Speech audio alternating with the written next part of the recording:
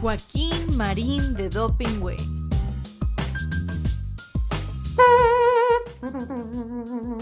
Atención. Paso redoblado.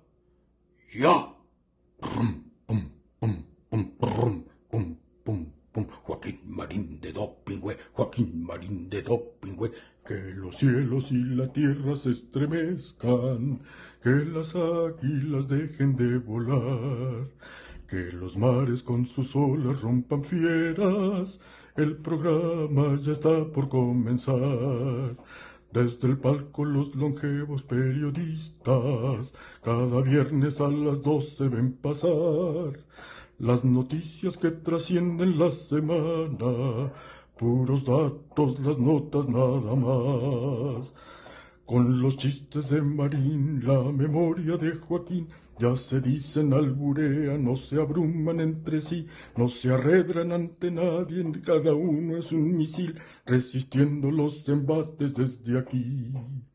Que los cielos y la tierra se estremezcan, que las águilas dejen de volar, que los mares con sus olas rompan fieras, el programa ya está por comenzar. Joaquín Marín de Dopingüe, Joaquín Marín de Dopingüe, Joaquín Marín de Dopingüe. Ya estamos al aire como todos los viernes a las 12 del día en todas mis redes, en todas mis plataformas. Joaquín. Marín. De Do. Pingüe, ¿cómo estás, Carlitos querido? Bien, Joaquín. Oye. Y Dime. te veo a ti, ¿Qué? pues, rigurosamente envuelto en la bandera. Mm, Envuelto. Pues vienes de verde, blanco y colorado. Es que hoy es 15 de septiembre, yo, bueno, No, muy bien, si no, no, no lo esto no estoy... viola el uso de la bandera del himno, No, del- porque no traes el escudo. Tu corbata más bien tiene, ¿qué animalitos? Deja ver. Déjame. Sí. Hablo de tu corbata. No es el águila, no hay violación. No, además esto no es una bandera, ni pretende serlo. No, pero trae los colores patrios. Bueno, está bien. ¿no? Está bien, no lo reprocho, solo lo hago notar. Ah, bueno.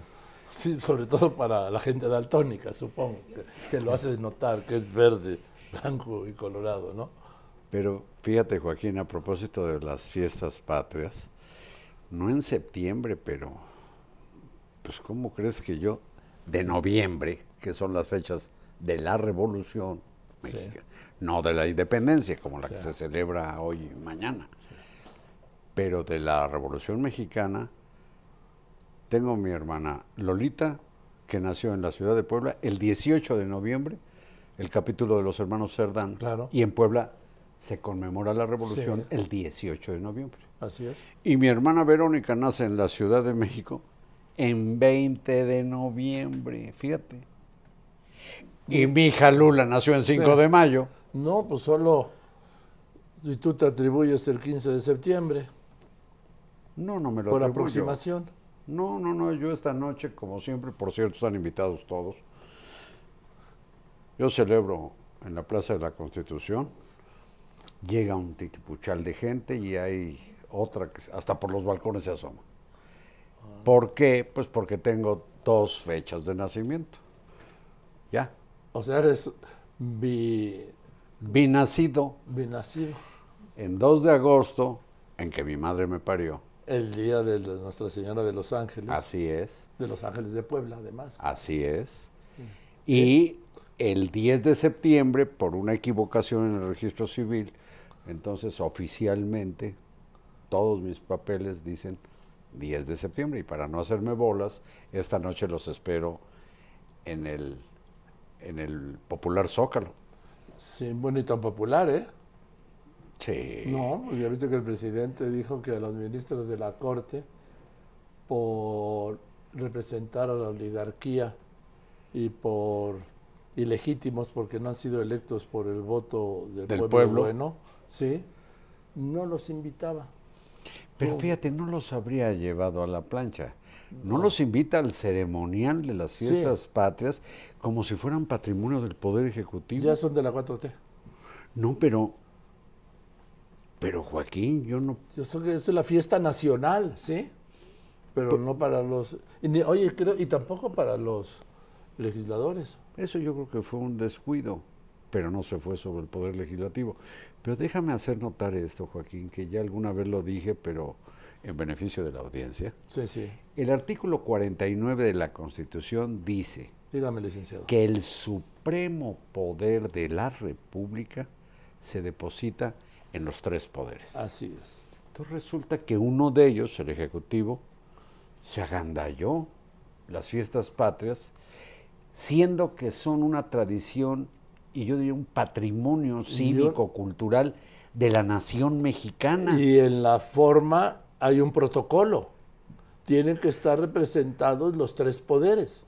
Entonces, en nombre, ahí sí, del gobierno de los tres poderes y el pueblo de México, se conmemoran pues las dichosas fiestas patrias. Porque según Qué exclusión y qué agandallamiento de símbolos, de fechas, de todo, Joaquín. Bueno, pues si trasladaron el- la Fundación Lunar de la Ciudad de México, de la Gran Tenochtitlan, a 1321, porque el 1325 pues, sí, no, no, no, le con- no coincidía con su gobierno, eso fue un agandalla histórico. ¿sí?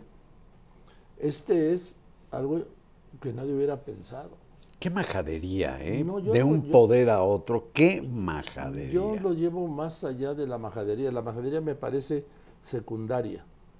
Me parece que nadie se puede apropiar de una fiesta que, como tú estás diciendo, un poder no puede excluir a otro.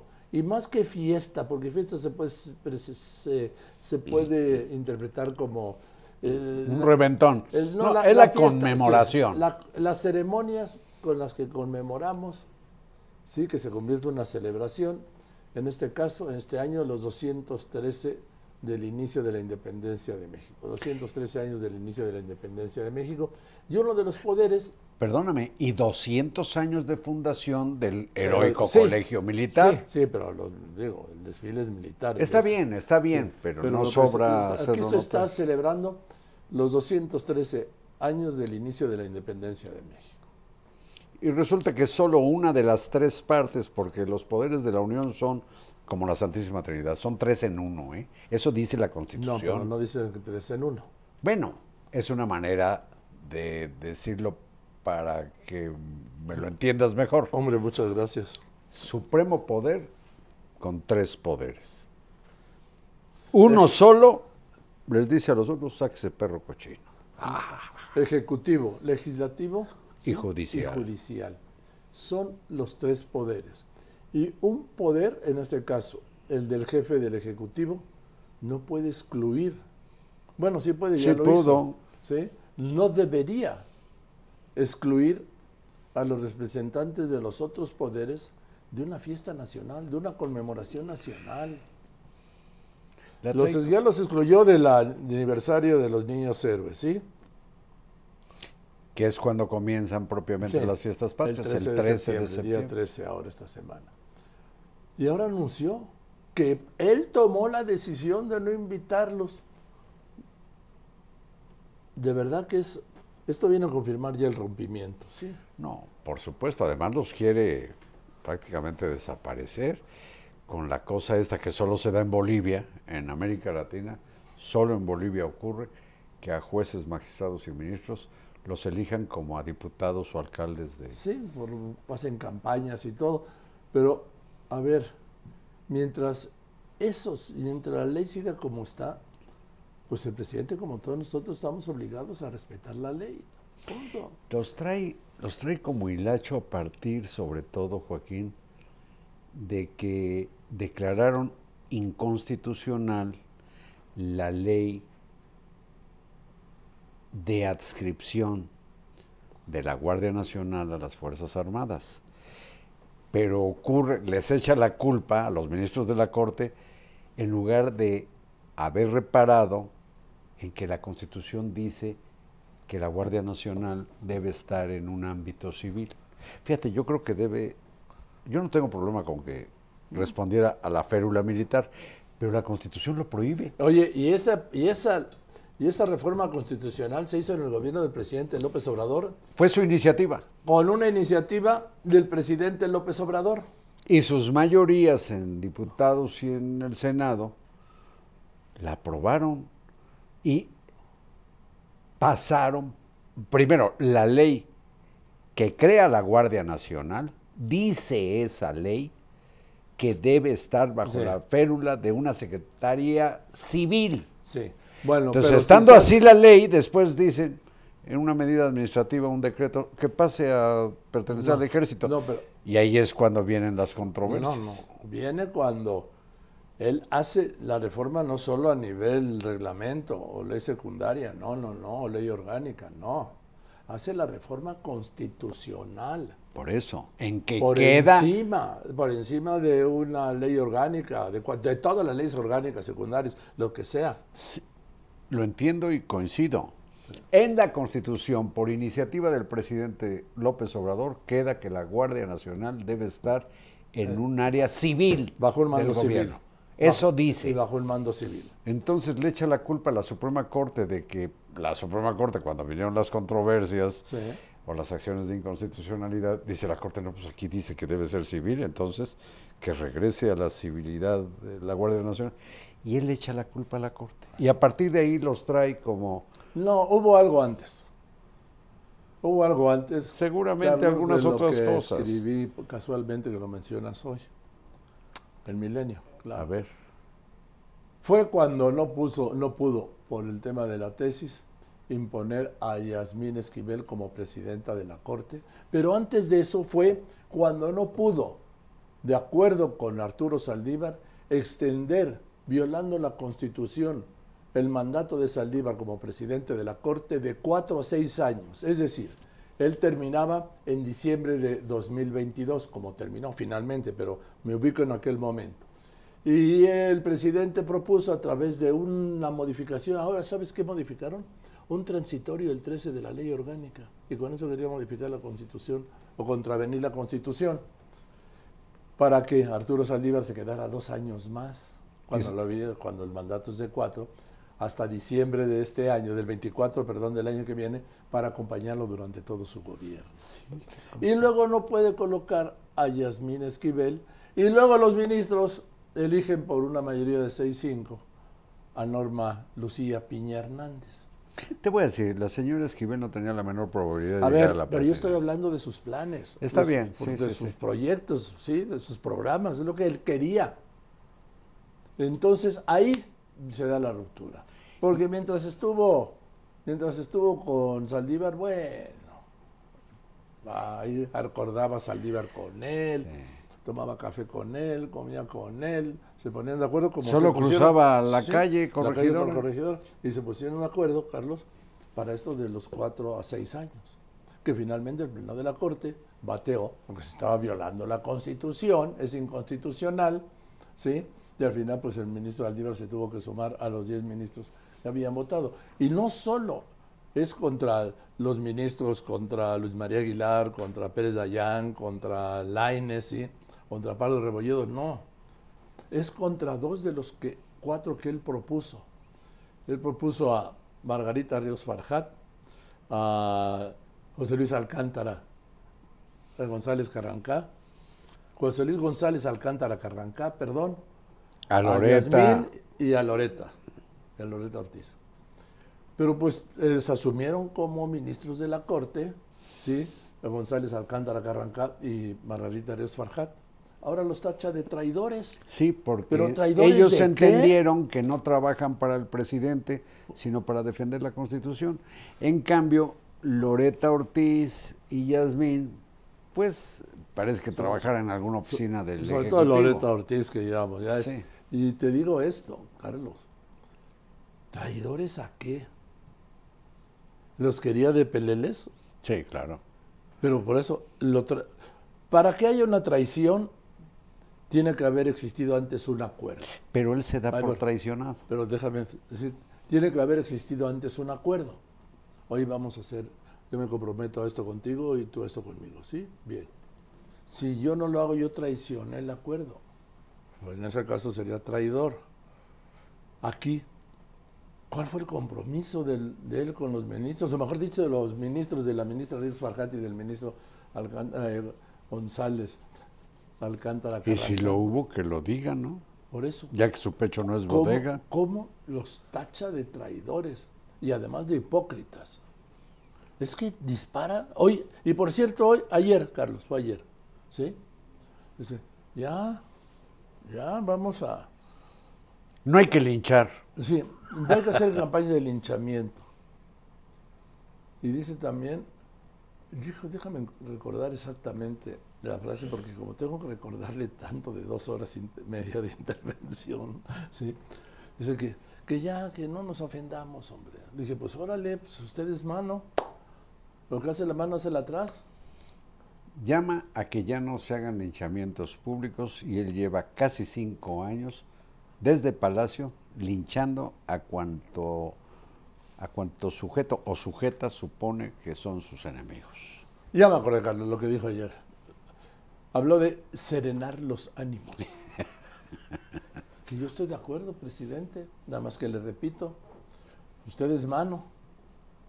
¿Sí? Porque si alguien se ha encargado de alterar los ánimos, con todo respeto, pues ha sido usted. ¿Sí?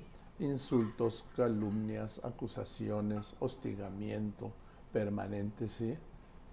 Entonces ahora vamos a serenar los ánimos. Nunca es tarde para hacerlo, ¿eh? Pero pues tiene que empezar con, el, con quien empezó a alterar esos ánimos. Pero fíjate, en Dime. esta cosa que comentábamos de la corte, los ministros, etcétera, fue por esos meses o días en que se aventó una especie de contraparáfrasis de la canción El Rey, cuando dijo, no me vengan con el cuento Ah. de que la ley es la ley. Sí, eso ahí queda, ¿sí? A mí no me queda. vengan con el cuento de que la ley es y, la ley. y parte, Joaquín, de una premisa absolutamente endeble. Es una premisa más bien ¿Cuál? falsa. Dice que los ministros están o debían estar para defender al pueblo. ¿Quién le habrá dicho eso? No es cierto. Claro que no. Los ministros están para hacer valer la constitución, beneficie o perjudique a quien sea lo que resulte en sus fallos. Así es. Es decir, cada persona se dedica a algo. El reportero a reportear, el policía a policiar, el albañil a albañilear, el, cada, a cada quien se le respeta por el cumplimiento de su trabajo. El taxista que presta, presta un buen servicio, el ingeniero, el médico, el cada quien en lo físico, suyo. cada quien en lo suyo. Lo suyo, lo suyo, lo suyo de la Suprema Corte de Justicia, por eso es el máximo tribunal constitucional, es hacer valer la Constitución. Defender la Constitución, hacerla valer y defenderla.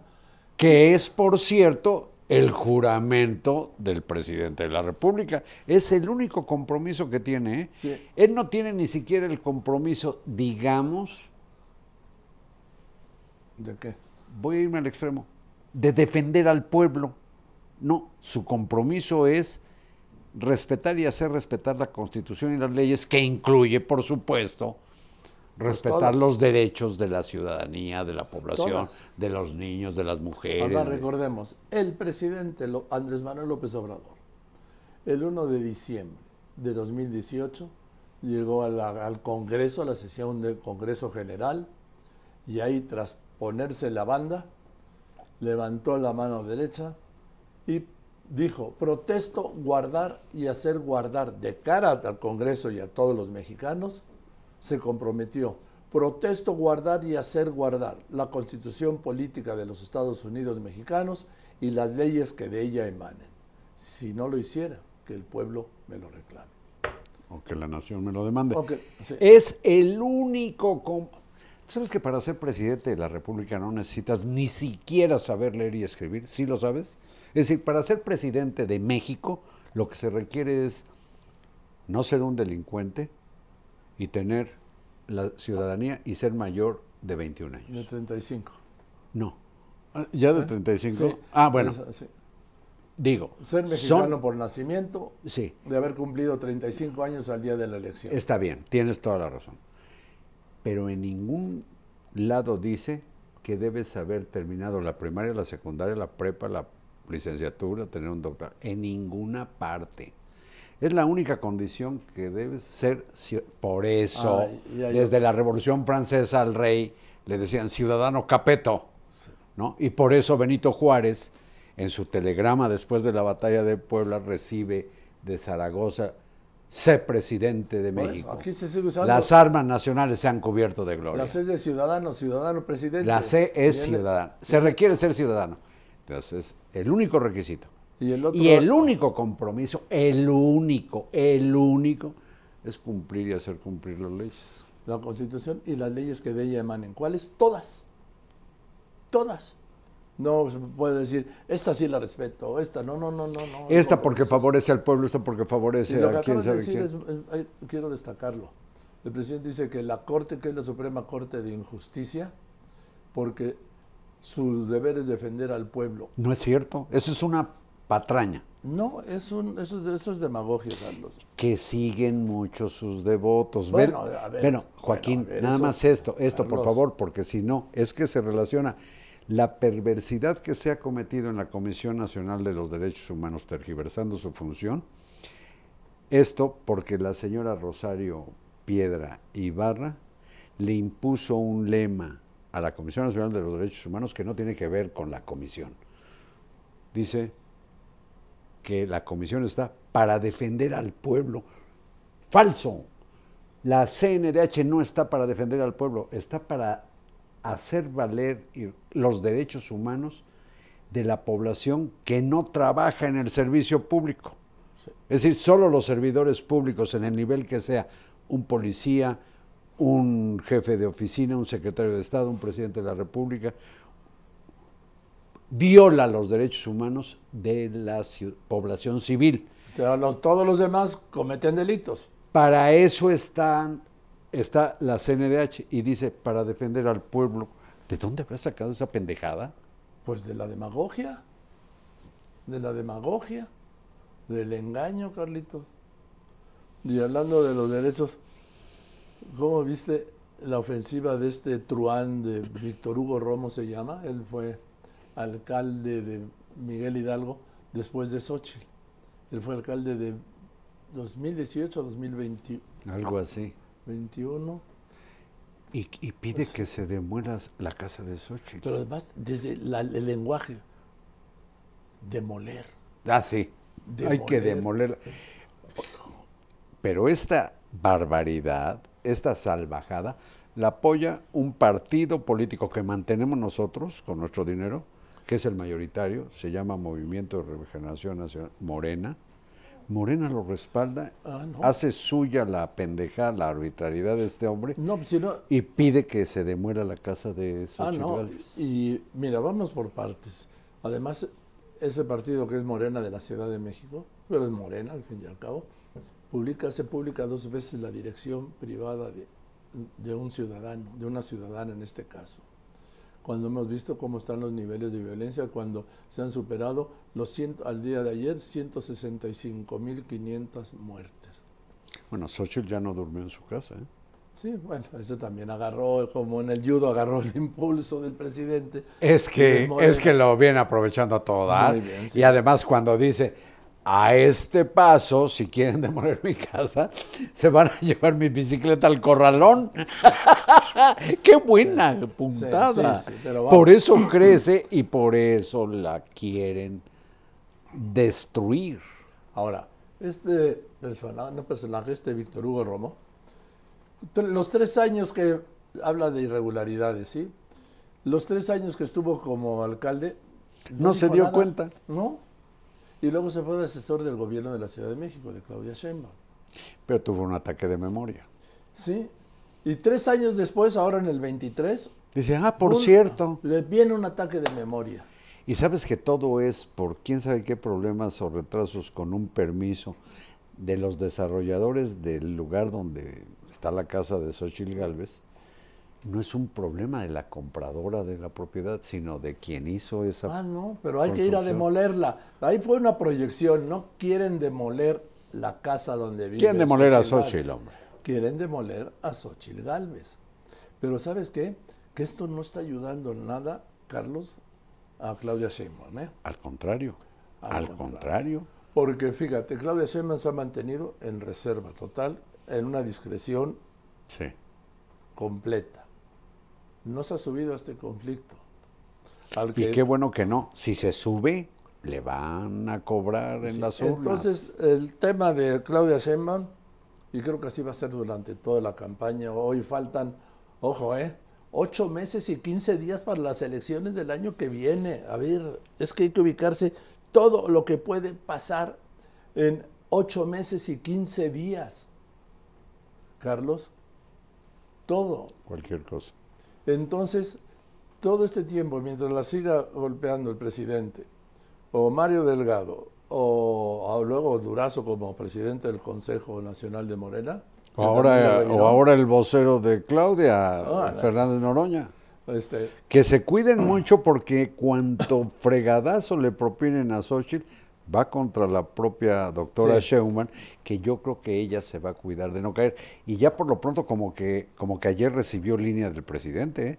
porque el presidente, a propósito de lo, la infamia esta, la canallada de, de Romo contra la casa y contra Xochitl Galvez, dice el presidente, no, no, no, dice, ¿cómo es eso de demoler casas? Es como andar quemando libros, dijo el presidente. Sí, sí, y ahí es cuando llama No. a, a- a que- a que se Se- serene. no Sereno se- Moreno. los Bueno, a ti no te puedo decir Sereno Moreno, eres, este, eres casi eh, rubio. Dice, nada de la picota, nada del barro. Pero ahora, el tema te decía, durante la campaña, va a ser no Xochitl contra Claudia Sheinbaum, ni Claudia Sheinbaum contra Xochitl. Va a ser Xochitl contra el presidente y el presidente contra Xochitl. Vamos a ver qué ocurre. Digo, vamos a ver qué ocurre, claro, pero ¿sabes qué? Ese es un candado, un seguro para Claudia, que me parece más muy inteligente, para tenerla fuera del conflicto con, con Xochitl, porque Xochitl es No, ella, en eso. ¿sí? ella, ella, a mí me encanta, a mí me gusta, por cierto, desde luego, el póker. Y ella, como veo, doy. No, y va a todas. Como veo, doy. Y juega póker abierto. Sí, y va a todas, no pasa, porque hay un principio en el póker que dice, si al póker quieres ganar, no te canses de pasar. Sí. ¿sí? sí. No, aquí ella va a todas las manos, batea todas las pelotas que le tiran. Pero hasta la fecha, con éxito. Sí, ahora, tampoco puede ser una campaña de ocho meses y 15 días con ocurrencias, sí, con No, buenas pero, salidas. pero responder las chingaderas no son ocurrencias. Esta cosa de al rato me van a llevar mi bici al corralón es una perla maravillosa. Yo creo que donde tene- tenemos creo que poner atención es qué va a pasar con la doctora Claudia Sheinbaum que teniendo todos los instrumentos, eh, digamos, eh, de su carrera administrativa, de gobierno, en la academia, para hacer y continuar su carrera política, llegar a la presidencia, ha conformado ese equipo con sus adversarios, eso sí me llama la No, atención. pero son- nunca fueron adversarios. Acuérdate que el Pero dijo cómo que eran no? hermanos. Permíteme, eso dice el presidente, pero ya ves lo que pasó con el carnal Marcelo. Es otra cosa. No, bueno, bueno, fueron adversarios, ¿qué se nos olvida? Que Fernández Noroña, que Ricardo Monreal, que Adán Augusto, no llegaron a decir que el piso no era parejo, y no de muchas maneras, pues sí, incluido. Marcelo, dijeron que todo estaba a favor de la doctora Sheinbaum, Sí. y ahora ellos Pero Marcelo están no. en su equipo. Hasta ahora no. No, lo que digo No lo es... veo porque él dijo que no se veía en Morena, sino, vamos, lo que dijo él es, si no se repone el procedimiento, yo no me veo en Morena. Y también dijo al principio, el, el día, eh, el miércoles del resultado, miércoles 6, Carlitos, ¿sí? pasado Sí. miércoles 6, dijo, y yo no me veo el equipo de la señora. Pero permíteme, una cosa que no se ve en el equipo para la campaña o pre-campaña, como está ocurriendo, cam- pre-campaña ilegal, por cierto. Y otra cosa, el, el destino para Marcelo, por ejemplo, era coordinar a Morena en el Senado, Sí, según lo ofreció el presidente de la República. lo firmaron. Pero yo, cuando hablo del equipo inmediato de la candidata Claudia Sheinbaum con sus adversarios, es que sí puedo imaginarla impulsándolos, apoyándolos o imponiéndolos o nombrándolos cuando llegara, de llegar al gobierno, en algunos puestos, para lo que los considere útiles pero para que le ayuden los que trataban de jalarle votos, no, no me yo parece sí- lógico. Yo sí lo veo. ¿Por qué? Porque es un partido, es un movimiento y hay un líder que se llama indiscutiblemente Andrés Manuel Bueno. López Obrador. Entonces estaba yo hablando de la Casa Roja. ¿Qué cabrón eres? Que me parece otro error, ¿sí? Me parece otro error. Ese hallazgo me encanta. A ver, Porque ahora el discurso de, de Morena es la Casa Roja, la Casa Roja. Es una casa en una colonia, pues la verdad que está donde estaba una ciudad perdida, ¿sí? sí. Que es- se llama Reforma Social, así se llamaba esa zona. Entonces, dicen, atrás del periférico, ¿no? sí, así. Ahí. Entonces, dice, la Casa Roja.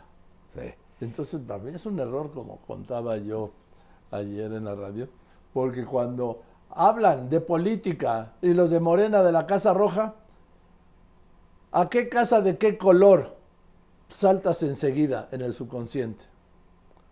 Pues a la Casa Gris, A la casa gris allá. en Houston, En Houston. es un error. Y alguien me dijo, cuando lo comenté en la radio, no, no, no, a la Casa Blanca de Peña, no, hombre, no. Esa ya no, es prehistoria. No, no, estamos hablando de esta campaña, ¿sí? Y estamos hablando de la actualidad, estamos hablando del presidente y de lo que implica, pues, el escandalazo que hubo en torno de uno de sus hijos.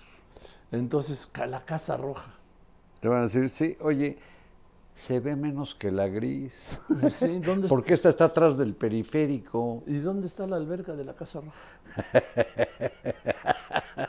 Por ejemplo. Sí.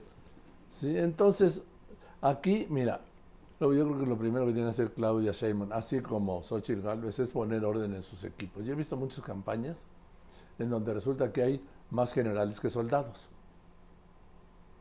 ¿Sí? Y todos son genios, ¿eh? Y todos opinan, y todos hablan, y todos intervienen, y luego todos salen a declarar. Es, empinan más a los candidatos, sus colaboradores, que sus opositores. Carlos. Bueno, como en este caso, el ridículo en que ha quedado el partido Morena, secundando la chingadera de, del exdelegado Romo para demoler la casa de Claudia, de Xochitl. Oye, Carlitos, y hablando de esto, ¿ya viste lo de las vacunas? Lo que anunció el, el fantasmal doctor Alcocer. Le digo fantasmal no en ánimo de defender, sino porque desaparece y luego aparece, y desaparece por largo tiempo y luego reaparece. Y el que sí está desaparecido, ah, porque está trabajando en el plan de gobierno de Claudia Sheinbaum, que se lo está preparando el presidente López Obrador, ¿sí? Sí. Además, anunciado públicamente por él, ¿eh? No, no, es que digan, ay, este, no. Con sus intelectuales, Sí. López Gatel y el Fisgón. y-. Bueno, Sí, sí, sí. Bueno, Bueno. esto de las vacunas, mira, yo ayer en Milenio publiqué no a las rusa, cubana y mexicana. Qué internacional título, ¿no? Bueno, lo que pasa es que el doctor Alcocer dice que tiene no sé cuántas dosis para agarrar a No, para la campaña de octubre. Por eso, para agarrarnos de pendejillas de, de pendejillos de indias, Joaquín, Sí. con unas vacunas que fueron hechos para, hechas para el virus original, que no están certificadas por la Organización Mundial de la Salud, alguna ni siquiera por la COFEPRIS como la Sí. cubana. ¿Y qué pasó con las otras como Moderna, Pfizer y otras, AstraZeneca, que llegaron a comprar, a poner? Ahora ya por tu programa de ayer me enteré con un conocedor de esto de primera, que han sido quién sabe cuántos millones y millones de pesos que autorizó el Congreso al gobierno para la adquisición de vacunas. Ha habido subgasto, no se sabe dónde están 15 mil millones de pesos, y entonces estamos agarrando quién sabe de dónde chingaos unas vacunas que fueron hechas para el virus original, porque ya transmutó, ya es otra onda, y se las quieren poner. Ya viste que hubo protestas en la frontera allá en Tijuana. Sí, sí. De gente que dice- La gente de la frontera se cruza, los Dice, que pueden, claro. No, pero salieron a manifestarse, yo no me pongo esta chingadera. Bueno, qué desastre el de la política contra, la, contra el COVID. No, en general en la política sanitaria, ¿sí? Sí. Sí, en general. Pero- Pero, en este tema del COVID, ahora que salga el gobierno a través del secretario de Salud, el doctor Jorge Alcocer, que además es una eminencia médica, yo no sé cómo... Fue. No es, es No, yo creo que- porque no se le olvidan las cosas. Sí, ¿no? pero No. tú te Premio avalas. Nacional de no, Medicina. te digo, avalas un en tu trabajo acreditado. todos los días. Sí, pero vamos, yo te hablo como médico, no como secretario de salud. O, eh, que no, que para los mexicanos la vacuna cubana, ¿sí? Abdalá. Además tiene una creación para una ocurrencia, una sensibilidad para los nombres. La rusa Sputnik y la mexicana Patria. Que dijo que también a lo mejor la Patria, la que iban a entregar en diciembre de 2020, ¿sí? Que prometió la directora de Bueno, Conocí. sí, Estamos a ver, estamos en septiembre, 15 de septiembre del 23. Yo tengo, ¿Qué? pues, una interpretación de por qué no ha salido la patria. ¿Por? Porque Marilena Álvarez Builla, la doctora, dijo desde que comenzó su gestión en este gobierno de la 4T, como dices tú, en los tiempos estelares de la 4T, cantó, se la cantó directa, franca, fuerte, a la ciencia neoliberal. Dijo, hay que acabar con la ciencia neoliberal. Entonces yo pienso que ¿Cuál los científicos con los que ver, haya hablado... ¿cuál ciencia con- oye, neoliberal, pero imagínate los científicos subordinados a ella pensando, ay, la, ay, chingado, la doctora quiere una vacuna que se va a llamar patria, pero está contra la ciencia neoliberal. Entonces, a ver, a ver, tráete un poquito de toloache y vamos a poner un poquito aquí de caca de murciélago y le vamos a poner un poco de peyote o le vamos a poner, a ver qué chingados inventan para que no sea ciencia neoliberal la pinche vacuna A que ver, no ha Es que la ciencia no tiene apellido. Pero. Joaquín, el chiste es pensar que sí Ah. y que hay que acabar con esa pendejada de que dos y dos son cuatro. Y ahora serán dos y dos mangos. Como en los libros de Sí, texto. Que dice, Tres por cuatro. no, dice, dos mangos más dos mangos, cuatro mangos. Cuatro. ma- No, dos mangos más cuatro mangos, mangos. No, no, no, no. O dos por cuatro. No, es dos mangos por, por dos mangos, cuatro mangos, ¿no? Dos mangos por dos mangos, cuatro. Punto. Ni modo que sean cuatro plátanos. Bueno, Digo, es que es. Esa es la ciencia antineoliberal que viene con la revolución de las conciencias, Joaquín. Y vamos a aprender, por ejemplo, cómo los chamanes huicholes le pegan al peyote para tener un diálogo con los dioses, dicen los libros de texto gratuitos. Eso sí, si no, no te cuesta un centavo. Aprender supercherías no te va a costar ni un pinche centavo. Fíjate, el sistema de, sa- de el, el sistema de la- el equivalente pues del, del SAR anticovid de Estados Unidos, el centro, el Centro Nacional de Estados Unidos de Infecciones, tiene un grupo de 280 expertos para el tema de las vacunas. Externos, ¿eh?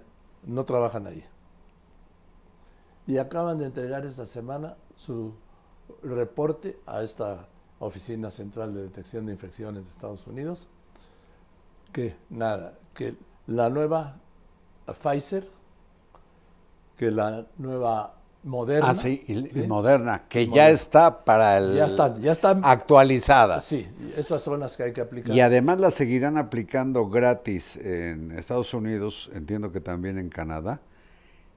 Caray, pues como debe ser hasta en las farmacias, en los No, ahora ya no, ahora ya te va a costar 40 dólares, pero ¿Ah, va a estar en las farmacias. Igual, antes lo Oye, que aquí tenían- mucha gente pagaría Sí, 40 sí. dólares, son 400, son como 600 pesos. No, bueno, casi 800. 700. Bueno, sí. 700 a 17, 11. en, en fin, 680 pesos. Digo, si me permites, qué bueno que me diste tiempo de hacer la cuenta mental, ¿sí? Entonces, eh, lo que había antes en Estados Unidos es que el gobierno facilitaba las vacunas a farmacias, a supermercados, a centros de vacunación, Porque en el súper, en la farmacia, en el Walmart, por ejemplo, no ibas y comprabas la vacuna, te la ponían y no te cobraban. Eran centros de aplicación de vacunas, donde iba mucha gente, pues, repito. No seguirá siendo así, tendrás ahora que pagar 40 Ahora, dólares. no, ahora vas a poder comprar la vacuna. Antes no la podías comprar en Ya, Estados ya. Unidos. Bueno, el presidente López Obrador hace 40 días más o menos Sí. ofreció que iban a estar en el mercado farmacéutico y en los hospitales vacunas, dijo, las que hubiera del mundo, como la farmacia de Santa Claus que quiere poner, al alcance de quienes quisieran comprar. Y hay personas... dijo? Sí, claro. Ah, no, lo prometió. Bueno, bueno, bueno, está bien. Es un no- compromiso. No te ofendas por mi duda. Yo, Yo, no lo- reproduje inclusive su textualidad en el texto que te digo que publiqué ayer y el presidente dice, habrá vacunas en el comercio. Y el doctor Alcocer cuela la Abdalá, Abdalá, hermano. La Abdalá, chico. Abdalá. Y la Sputnik. y la ilusoria patria de la doctora Álvarez Bulla, que va a tener un poquito. Ya, ya de- sé, ya sé lo que va a ¿Quieres tener, que ya te dé la fórmula No, no, no que antineoliberal? la des otra vez, no. Bueno, con eso van a agarrar a la población que se deje o la que no le quede de otra, pues de veras, de pendejillos de indias, pobres personas. Bueno, pobres personas. Ahora también a mí me dijo un médico, mira, la peor vacuna es la que no hay. Tienes razón, porque tampoco es veneno. Sí, la peor vacuna es El la problema no es que hay. no están actualizadas a Entonces, la evolución que ya Si tuvo el bicho. solo existe la, la, pat- la patria, bueno, el patria cuando salga, ¿no? Solo existe O la, la cubana Sputnik, o- la rusa, pues póntela. A mí si no me queda otra me voy a poner la que sea. ¿Sabes cuál? Sé que no. ¿Cuál? La patria. Porque quién sabe con qué pinche ciencia estarán experimentando. Ya, ya dijiste con qué, o sea, pero sí, Hasta caca de murciélago le van a poner. ya lo has dicho, Supongo. Carlitos, ¿por qué, es Lo enfatizo. ¿Por, por qué esa fórmula tan escatológica? Porque algo tiene como de, pues de experimentación en el nuevo humanismo mexicano. Oye, por cierto, muy, muy, muy aztequizado, muy olmequizado, muy mayanizado. Como en los libros de texto, todo nos lleva como al mundo prehispánico, como si Pues, solo eso me hubiera. gusta, eso me no, pero como si la población mayoritaria fueran nuestros compatriotas, como 12 millones de personas. El mestizaje no existe, la historia de 300 años de colonización española no existe, no existe la literatura, la cultura de tantos años y estamos aferrados, haz de cuenta, al mundo del teponaztle, que por cierto suena muy bonito. Ton, ton, ton, ton, ton, ton. El asunto es, Joaquín, que siendo 15 de septiembre y viniendo tú pues, prácticamente de, de bandera, No, no, no. bueno, bueno, yo lo digo con respeto sobre todo a la bandera, ¿eh? pero desde luego a ti también. Bueno, Muchas gracias, Carlitos. Vienes de verde, blanco y colorado, la bandera del soldado. Te tienes que pelar, no a dar noticias, ¿eh? sino a dar la hora. Oye. Entonces, Pero antes, el sábado es el gran desfile, ¿eh? va a ser un desfile, ¿no? Siempre han sido, a ver, reúnen cientos de miles de personas el desfile. Sí, pero ver la marcialidad, los uniformes, la gallardía de lo militar. Oye, va a haber dos mil disparos simultáneos Sí, sí. de salva. Sí, se llama salvas. Esa normalmente lo hace pues, una compañía, ¿sí? Pero nunca se había hecho una salva. La salva es cuando cargan y disparan.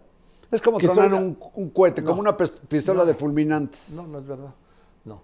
Es una carga, es un solo disparo. Pero aquí tienen que sincronizar 2.000 fusiles. Por eso, y es como 2000 una soldados. pistola de fulminantes porque solo se oye el... ¡pam! Por eso, entonces era un rifle de fulminantes. Bueno, un ya, rifle con bala de salva. ya. ¿Sabes cuál es el chiste de las balas de falda de salva? Que no hay proyectil. Porque si no, imagínate, do- dos mil ojivas lloviendo. ¿Quién sabe dónde Hombre. chingaos? Qué bueno que no sale nada. Es solo el tronido. Es solo el estallido pero a de la pólvora. Es Sí, a ver, Es- es, una bala de salva. Y es un espectáculo maravilloso como cuando echan las salvas con cañones. Sí, pero ahí no son al unísono, ahí son en relevo. Uno por uno, sí. Sí.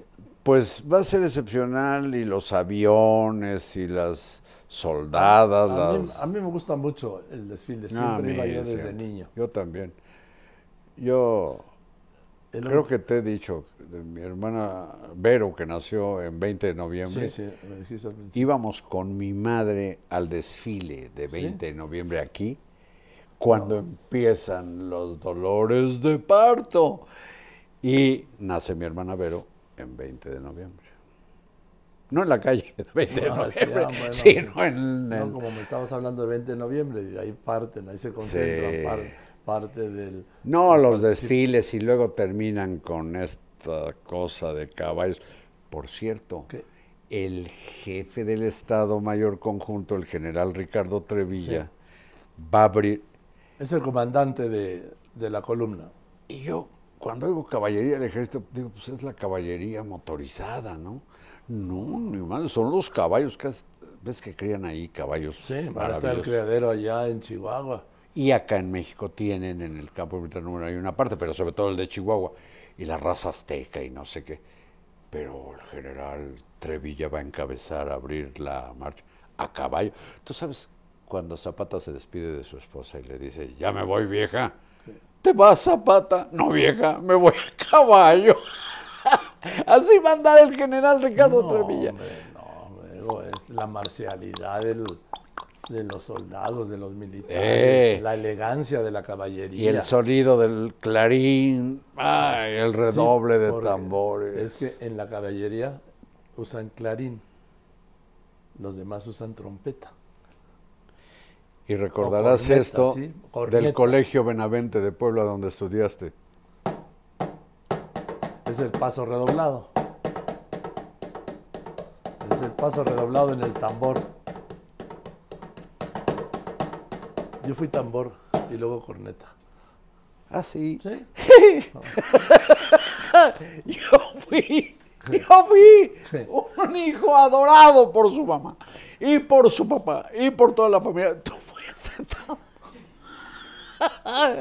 No estoy hablando del, no estoy hablando del, del conejo, del tambor, ¿sí? ¿Cómo has evolucionado? Ay, Carlitos, hoy te dio un ataque de, de simpleza, ¿sí, verdad? Nunca me esperé que dijeras que Así se dice, Ay, ay, así se dice.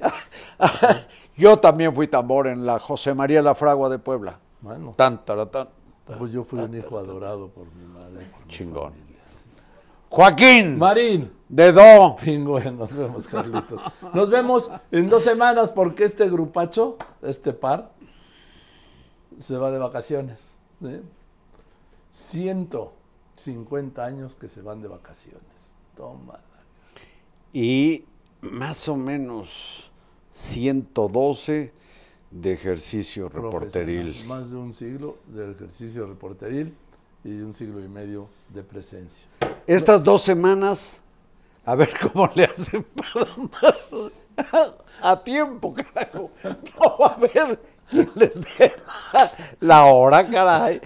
Te vamos a extrañar, Joaquín. Gracias, Carlitos, que usted vaya muy Joaquín, bien. Marín, de Do. Pingüe. Gracias.